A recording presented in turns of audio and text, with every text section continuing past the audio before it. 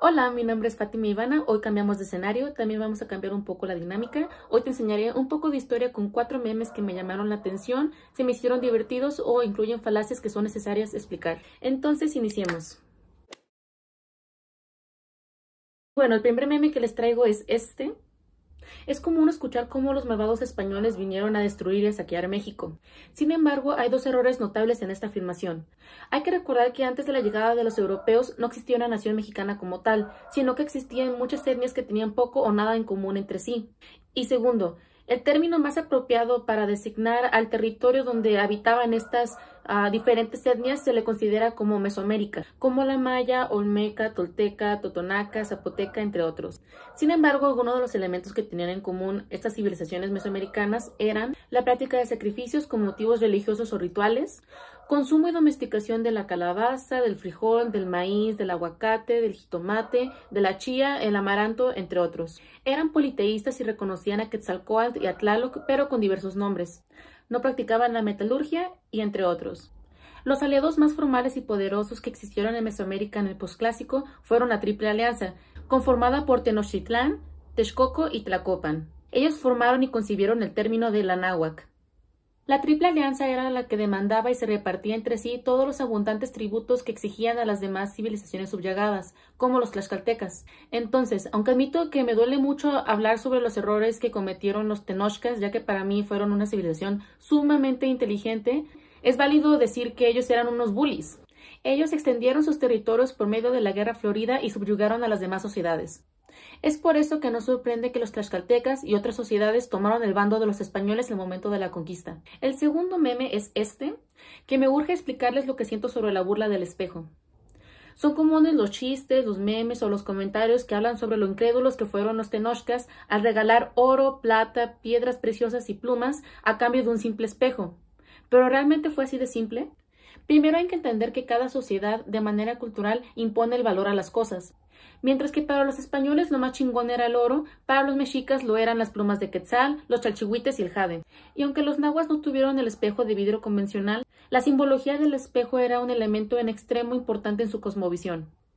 El espejo negro tallado en pirita se le relacionaba a Tezcatlipoca, ya que una de las leyendas más famosas toltecas trata sobre cómo el dios Tezcatlipoca visita al sacerdote Quetzalcoatl y le muestra su reflejo mediante un espejo. Según el historiador Luis Barjau, cuando los indígenas vieron el espejo español, obviamente entraron en una relación metafísica y religiosa diferente. La imagen del ser ya no es oscura, es clara. La imagen del ser está en la luz, no en la oscuridad. Así que por favor, no hay que creer que los nahuas fueron unos tontos por intercambiar oro por un espejo, ya que al ver su reflejo de manera tan clara, eso hizo que revolucionara sus mentes. El tercer meme es este, y escogí este meme porque quiero dejar en claro algunos puntos sobre la caída de Tenochtitlán. Primeramente, los españoles no estaban solos en esta guerra. Ellos fueron ayudados por los tlaxcaltecas y otras etnias que ya estaban hartos de darles los tributos excesivos a los nahuas. Los tributos podían ser comida, mantas, materiales para construcción pero principalmente eran personas para el sacrificio. Hernán Cortés se aprovechó de este odio y sed de venganza que tenían los pueblos subyugados para así formar sus tropas. Otro factor súper importante de la caída de Tenochtitlán fue la llegada de la viruela.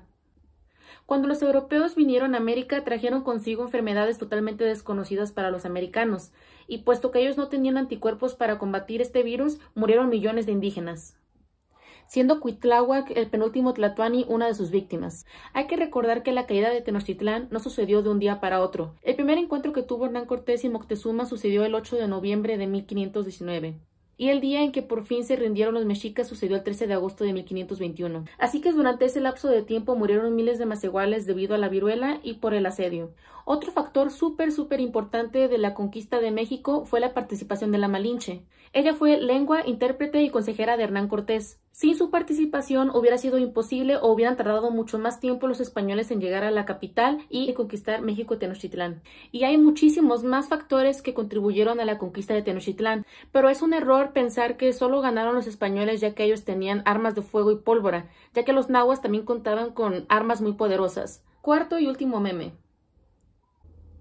Fray Bernardino de Sahagún describe con repugnancia este platillo en su historia general de las cosas de la Nueva España, ya que los antiguos nahuas preparaban el pozole con la carne de los sacrificados en algunas fiestas, principalmente la dedicada a nuestro señor desollado, el señor Xipetotec. En dicho festejo se realizaban los famosos sacrificios de rayamiento o gladiatorios, donde un guerrero cautivo era amarrado a un temalacatl de la cintura para enfrentar a los grandes combatientes mexicas armados hasta los dientes.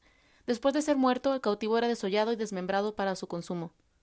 El muslo derecho siempre iba al palacio del Huaytlatoani para demostrar agradecimiento y respeto, ya que según los cronistas el muslo era la parte más deliciosa del cuerpo. El muslo izquierdo y ambos brazos eran propiedad del guerrero que tomó cautivo el sacrificado.